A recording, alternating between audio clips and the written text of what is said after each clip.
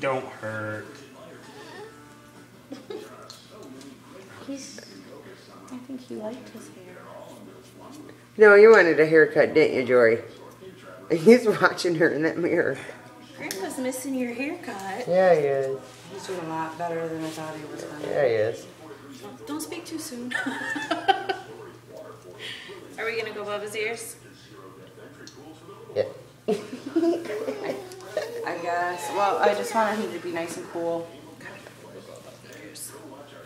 Jerry, look.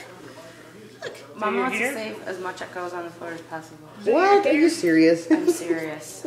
I'm sorry. She does. She's my baby right here. Look at that beautiful hair. Does she ever want to keep your hair when it falls on the floor? Were you Well, like that she's with mad him? that it's starting to turn gray instead of red sometimes. so. Well, Peanut's got beautiful hair. But I, I blame the gray on her and the kids, so. She, she'll, when it starts turning gray, she'll try to cut off as much red as possible so she can keep her hair gray.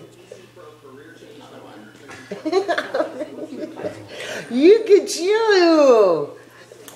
The bangs make them look like a girl. There is a box of envelopes sitting on my computer tower in the back Oh, room.